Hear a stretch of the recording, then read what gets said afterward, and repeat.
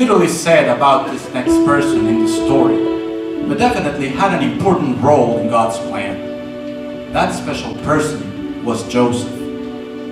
As any normal man would feel, he was shaken when he found out Mary was pregnant and he was betrothed to her at the same time.